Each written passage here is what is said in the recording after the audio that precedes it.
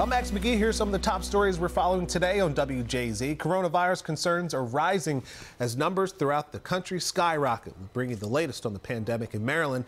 Pierre Gibbons comes home. He suffered burns to his body after rescuing a neighbor from a fire. WJZ is there to bring you his story after fighting the odds against him. And a restaurant that denied a black mother and her son service over his shorts still feeling the backlash. We're talking to state leaders about the series of events. All right, let's get a check of the weather. Marty Bass. Steamy, hot, summer in the city. Sounds about right. Remember the old Lovin' Spoonful song? The next line was back of my neck feeling dirty and gritty. I don't think we're quite there yet, but it's summer. Tell me you've heard that song. Nope. Chris? He, he is not messing with me. Let me just say this. We're going to put, you know, an age requirement on that door. no one, no one under 31 admitted.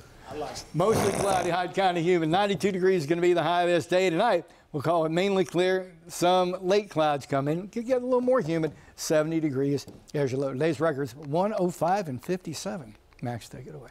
I have lost control of everything in my life. Okay. St check in with WJZ this afternoon for the updated forecast and all of today's developing stories. I'm Max McGee.